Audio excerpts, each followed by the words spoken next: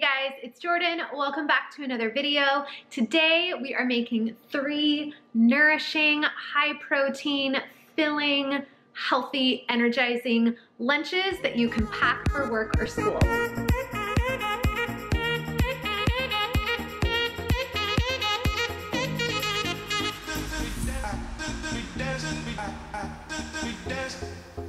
Grad student, I kind of feel like every autumn or like every mid-August is almost like a new year for me. I don't know if any of you other students or people that work more on like an academic calendar feel like that.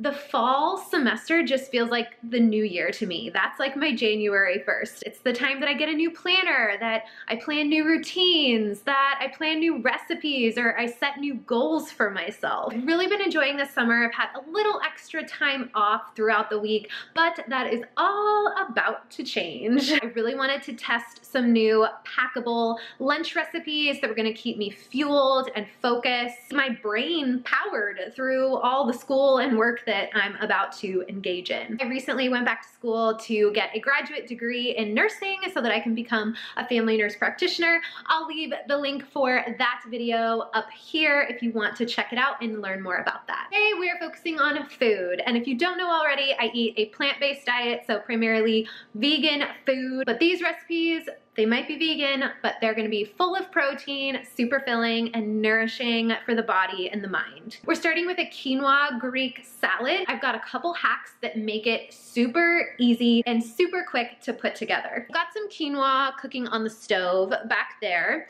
So while that's cooking, we're gonna make some tofu feta. I'm gonna start by doing a quick tofu press. I'm just putting a clean dish towel over my cutting board, and we are going with just one third of a block of extra firm tofu. So extra firm just means it has less liquid than like a firm or a soft tofu, so we won't have to do as much pressing. So we're just gonna take it on a paper towel and press it like this and then fold the kitchen towel over and we're just gonna use our muscles and press down. Tofu is gonna flatten a little bit, but that's okay, it's just all the moisture coming out. Can even flip it over, get the other side.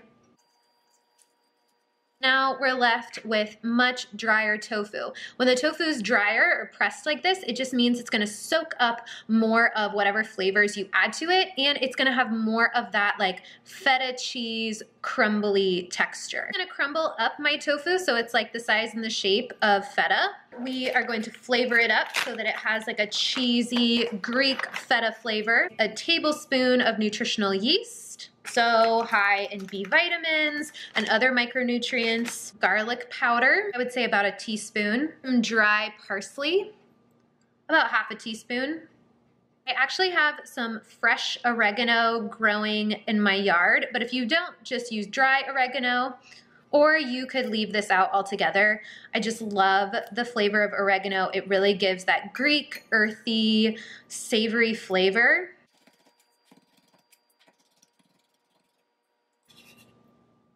So that's about half a teaspoon of fresh oregano, or you could use dry oregano, maybe like a fourth of a teaspoon because dry is a little bit stronger. A wedge of lemon. Lemon just brings out the flavor and adds that nice acidity that cheese would normally have. And just about an eighth of a teaspoon of sea salt. Just gonna chop up some cucumber and some leftover tomatoes. If you don't like raw tomato, you could use red bell pepper or sun-dried tomatoes. I just love a pop of red in the salad along with all the green. Half of a cup of cucumber.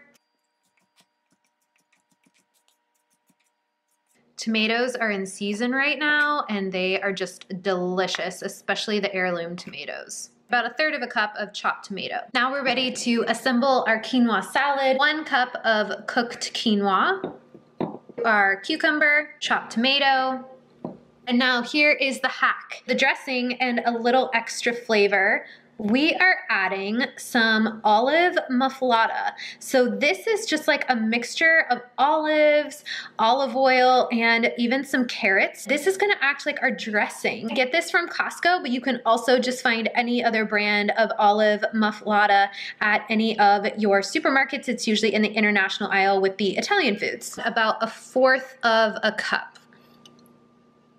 I'm gonna go ahead and mix that up.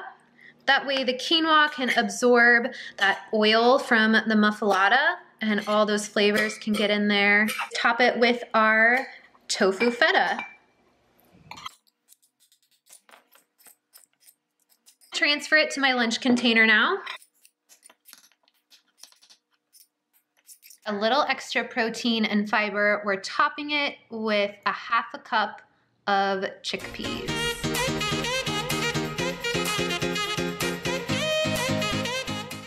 Next up, we're making some smoky lentils and sweet potatoes. Just took half of a white sweet potato. Cut it into these about half inch cubes. I really like a white sweet potato, but you could use a regular orange sweet potato. It's gonna taste just as good. Season with a little bit of salt, a little bit of this high heat oil. This is a sunflower oil, it's organic, just like literally about a half a teaspoon, but you could totally leave the oil out and just use some water. To make it nice and smoky, we are going to season with some smoked paprika.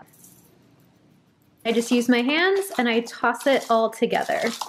I am going to use my toaster oven. That way I don't have to turn on my oven. I'm going to put those in there and they cook really fast. So I set my toaster oven to the convection setting. It is on 450. I'm going to do for about 15 minutes already cooked my lentils. They're just here on the stove. I made a huge batch, so we're not gonna use all of these.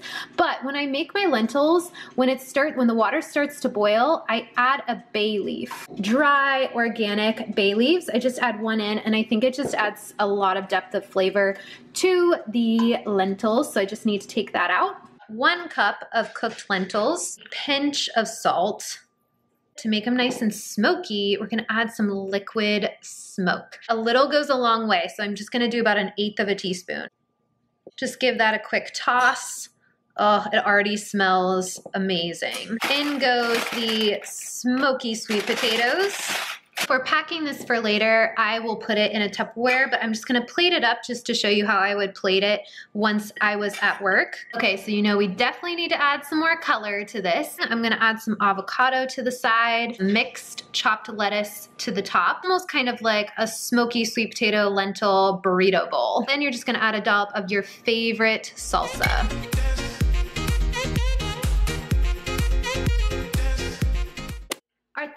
Final recipe is the quickest and the easiest of them all. I showed Trader Joe's has a lentil penne in my tr last Trader Joe's haul, but I also found this week when I went that they have now a spaghetti version. So this is yellow lentil pasta, super high in protein. So we're going to use these to make like a noodle stir fry. My lentil spaghetti just went in. It takes about seven minutes for that to become al dente. So over here in a skillet, I am just going to use half of this bag of Cascadian Farm Organic Chinese style stir fry blend. So there's green beans, broccoli, carrots, red peppers, onions, and even mushrooms in there. So we're just gonna put that in a hot non-stick skillet. We're just gonna cook these until they're nice and tender and heated through. Add a little bit of flavor while they cook. I'm just going to pour in about a teaspoon or so of this coconut aminos, but it's basically like a soy sauce. So if you have gluten-free tamari or a soy sauce, definitely use that if you need to. This adds a really nice salty flavor to the veggies. Veggies are nice and tender. Our pasta is done, so I'm just going to transfer the noodles Hopefully none of them fall. Hopefully all of them make it into the warm skillet. This part is optional, but I'm actually gonna add some chopped red or purple cabbage just for the color and I have it in my fridge. Our purple cabbage is a super amazing super high source of antioxidants. We are going to go in with some of this Trader Joe's almond butter turmeric salad dressing. It's got lemon, ginger, turmeric, and black pepper. I think it's gonna be really, really good as almost like an almond stir fry sauce, but you could also use like your favorite teriyaki sauce or peanut Thai sauce, whatever you like. Just the point is that it's store-bought and you don't have to make it yourself, but this one has really good ingredients. We will just toss it all up. Look at that. Look how pretty this is. So it's all plated up now. Just going to garnish with some everything but the bagel sesame seasoning. But you could also just use plain sesame seeds if you don't have the seasoning or just leave it off completely. If I were packing this, I would put it in one of my containers, just as is with the lime wedge. I would eat it at room temperature, I would eat it cold, or if you have a microwave at work, you could heat it up again. So those are three new lunch recipes I'm definitely going to be taking with me to work and to school for the autumn semester. In the comments below, let me know your biggest struggle with planning your lunches? Do you end up eating out? Do you end up packing PB&J? Tell me what happens and let's start a conversation down in the comments. Let's help each other out with some of those struggles that we face every week to try to stay healthy. Like this video if you wanna see more recipe videos and subscribe if you haven't already. Hit that little red subscribe button down below. Did you wanna say bye? Say bye.